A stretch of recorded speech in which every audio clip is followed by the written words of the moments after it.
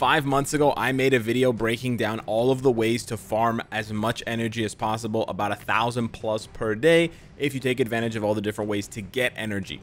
However, what I want to focus on now is how to spend the energy because I talk about this a lot with people. I get questions a lot about it too, where people say like, I don't have enough energy. I, I don't have enough energy to do the things that I want to do. I'm spending too much energy here or there. So I wanted to basically rank the different ways in which you can spend energy in the game and give you my opinion on which ones are the best for uh, you to basically spend your energy because energy is you know one of the three most important resources in the game after you know crystals and gold um, and I feel like a lot of players are inefficient and are stuck in old ways of thinking, especially veterans.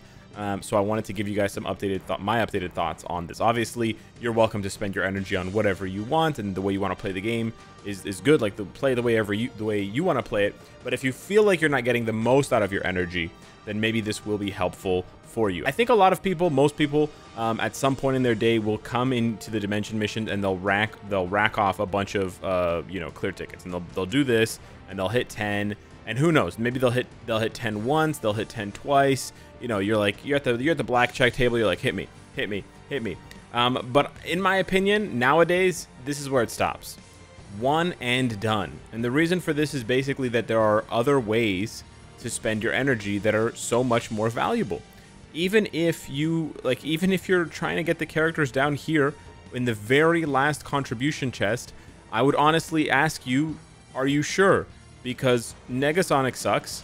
Professor X is not even the second best tier 4 um, blast mutant uh, character. Abomination is only a support, and Rachel is okay, but you need her artifact. So they're not even that good, and what you have to give up in terms of energy, you have to give up so much energy to get all the way down to the seventh contribution.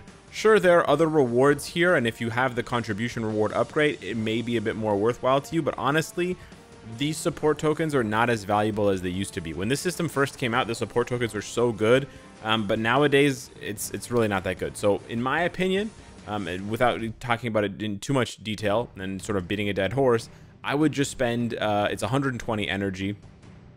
I would or without boost points, right? Um, I would just spend the energy that it takes to do 10 runs so that you can get the first two contributions. I think the first two contributions are good. Y if you're really tight on energy, you could honestly just go for the first contribution. The first contribution is, without a doubt in my mind, one of the easiest and best rewards in the game. Just 2 million gold, easy peasy, is fantastic, right? But honestly, this is the biggest piece of advice I can give, and so that's why I wanted to put at the beginning of the video. You're probably spending too much energy in Dimension missions. These rewards are just not good anymore. Like, oh, a bunch of one-star cards. Wow, a bunch of, like, one-star, two-star Uru. Oh, but Alex, I need those Uru um, for the combining event. No, you don't. Combining one-star Uru is going to just deplete your gold, and it's not going to give you any six-star Uru because there's a, there's a failure chance at every step, right? From one to two to three to four to five to six, there's a failure chance, and then it just gets worse. So you did your 10 dimension missions. Okay, now what? Story mode. I really can't say this enough. You should be farming story mode every single day. You should absolutely farm Dimensional Clash you should absolutely farm the All War, and you should absolutely farm the Future Ends Here. The only one that you should consider skipping is the True Shield. And honestly, for most players, you shouldn't skip the True Shield because you need the ISO. You, I know you need the ISO because you need to build up characters ISO 8 sets. If you're a like 7, 8 year veteran um, and you have a full roster and you have ISO for all of them, then maybe you can skip this. But look, even if you even if you don't need the ISO, you can get tier 3 materials. So there's almost no reason to skip this. But more generally, I see people saying that they don't play story mode. And I even see new players saying they don't play story mode. And I really don't understand this. Even if you don't get the fragments, you still get other rewards, right? You still get tier 3 materials. Because you can see here, the reward is either a fragment or you get tier 3 materials. So you're not you're not trading your energy for nothing. Even if you don't have Stryfe, you don't have Ikaris, you don't have uh, uh, you know, Black Dwarf. That's fine.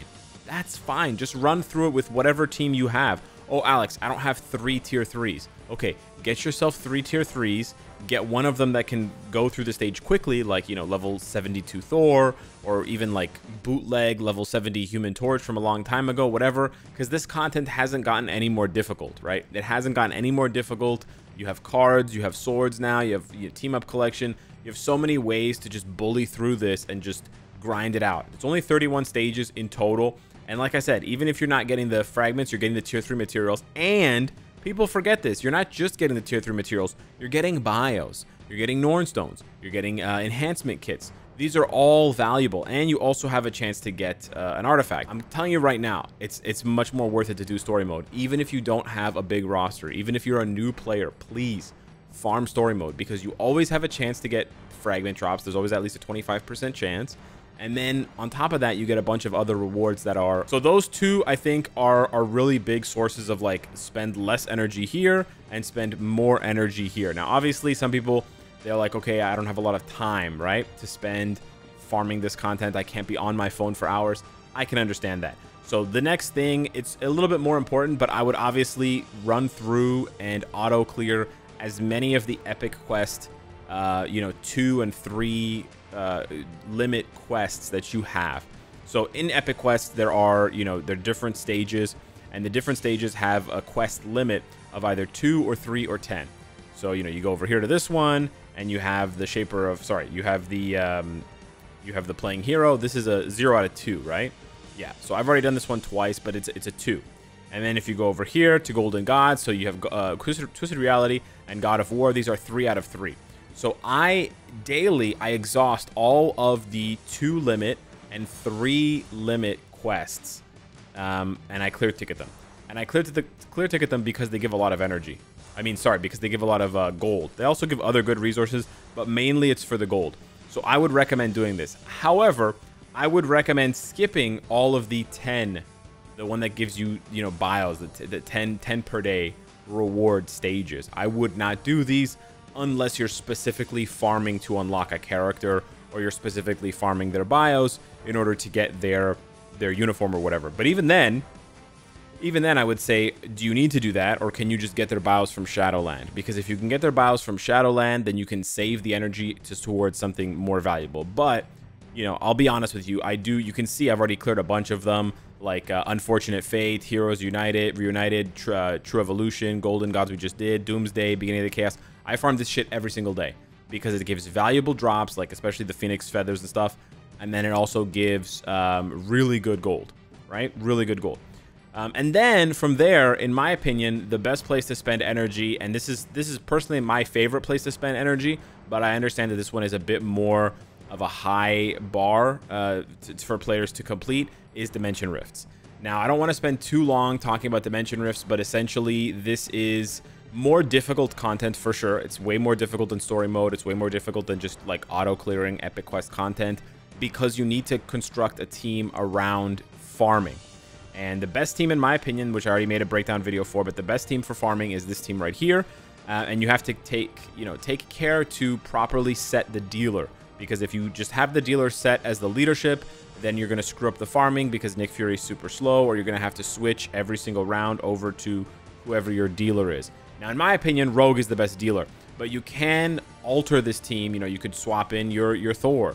You could swap in a, a Magneto or a Jean Grey, right? There are a few different options for this. Um, you can experiment with your own options as well. Um, when you're just starting out as a newer player, just try your best team, right? Just try, and what I mean by your best team is like your best leadership, your best support, and then your best damage dealer, and then set the dealer to your damage dealer so that it's not uh, your leadership who is going out there, you know, your, your Shuri or your Wave or whatever isn't the one going out there doing damage. But I would just set up whatever your best team is and then farm Dimension Rifts.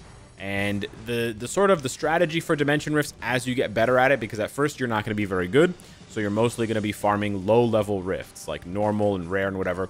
Just to reiterate quickly, the, the, the rarity of the rift does not indicate difficulty. The difficulty is the same across all the rifts.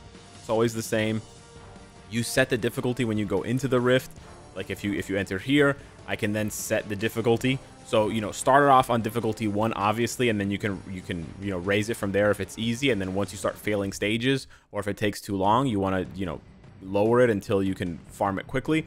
But the goal is, right, as soon as you can, if even if you're a new player, as soon as you can, whatever it takes you like 3 months, 6 months, put together a farming team that's fast, that can do difficulty 6 consistently. And that's when you want to start farming 2 to 3 mythic rifts per day. Now, this is a lot more involved because it's going to require you to have friends. I know. And it's going to require you to have an active alliance. I know. These are difficult things. There's external factors. You know, you're going to have to communicate with people in the in-game chat or on Discord or on whatever Facebook groups, whatever the case may be. Um, but basically, you organize it with them. They open a rift for you. You you farm their rift for 30 minutes. You spend like anywhere from 200 to 350 energy. I know it's a lot of energy, but it's worth it. Um, and then you open one for them, and you can farm your own rift, right? And you can and you can do that two to three times a day, right? Because you can do you can join two right there, and then you can open one of your own.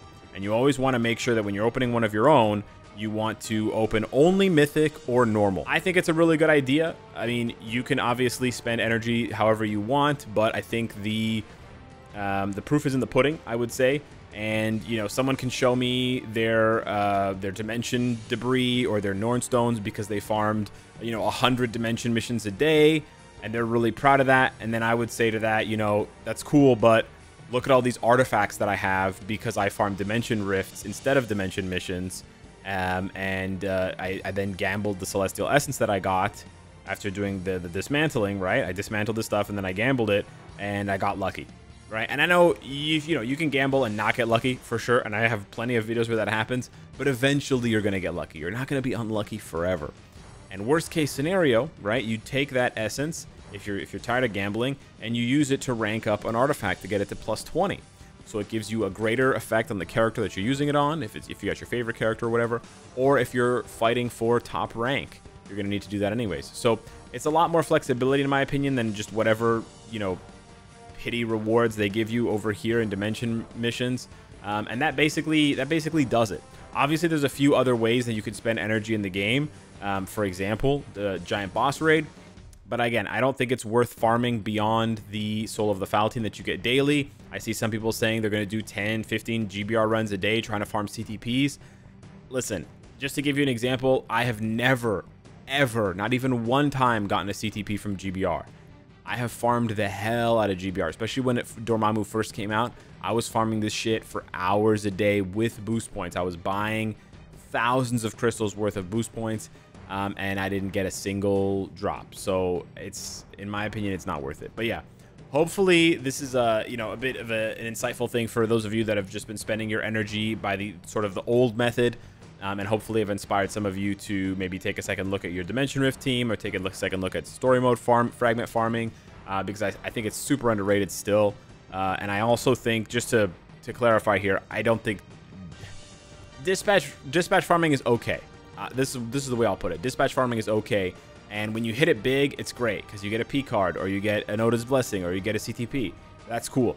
But for the other 150 runs, 200 runs, you don't get anything, or you get mostly kind of whatever four star cards, five star ISO, just kind of whatever stuff. I much prefer Dimension Rifts and Story Mode because the the rewards there are much higher, and it's they're much more consistent. So I don't like the gamble of dispatch. I know there are certain things you need to do to farm dispatch, like you know when there are there are events to farm like chocolate and stuff, or some of the uh, shield uh, archive stuff. You do need to farm. Like I, I still need personally Need to farm uh, 12 more of these Hydra flags from Sector 12, I believe. Yeah, uh, of Dispatch. This kind of stuff, yeah. But day-to-day -day farming, do I farm Dispatch at all? No, not at all. I would much rather spend the energy on Rifts and the other stuff that I outlined. So yeah, hit me up in the comments down below. Let me know what you think. Thank you so much for watching. Smash the like button. It helps out the channel. And I'll see you in the next one. Take care.